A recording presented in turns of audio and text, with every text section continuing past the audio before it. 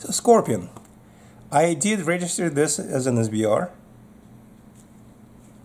I wanted to do it, but unlike many people that are converting their Scorpions, I do not plan to have a folding stock or a folding brace. Um, I was fairly happy with the non-folding shockwave brace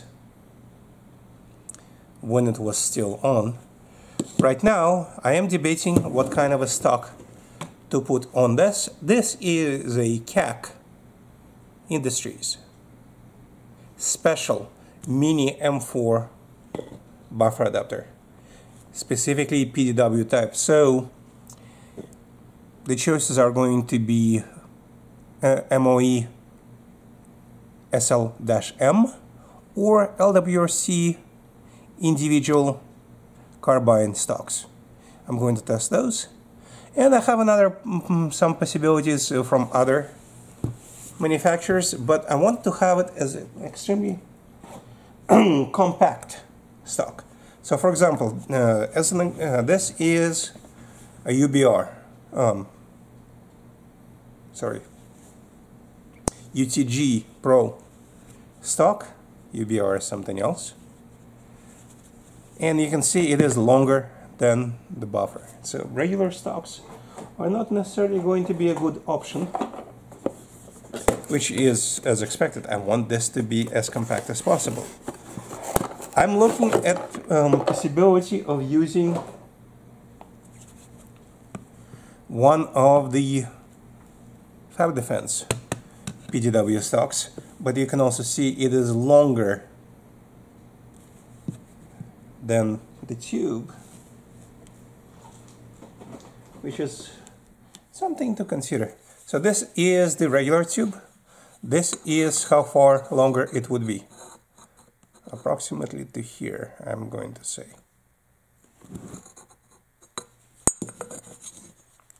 Let's see if I were to put it side by side. This is probably the difference in the length.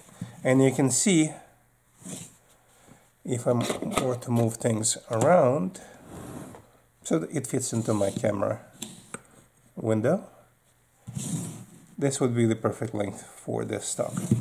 However, I still need to find my um, LWRC stock. It's in one of the boxes. Here is an example um, what Magpul MOE-SL-M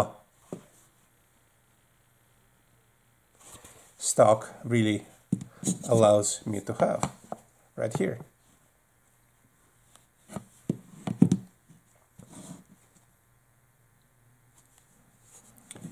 As you can see, it is considerably shorter as compared to regular stocks. So I'm going to do this most likely if I cannot find the LWRC one because I do want this to be as short a package as possible and I will be installing most likely the BCM grip this going forward. Or this side I don't know yet. So those are the plans. Then I'm gonna have to research how to do the sling to match this stock. Most likely this is going to be a two-point swing. So those are the plans on my Scorpion. As of now, still debating how I'm going to do it.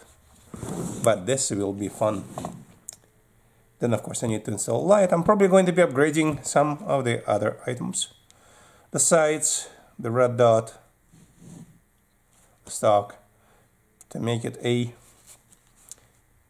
better package. Again, being in class 3, it is slightly less suitable for self-defense roles from court perspective, from what I hear. But it's actually more suitable from usability perspective. So we'll have to figure it out and see what happens. Would have been nice if I were to, able to mount it closer, but that is not possible.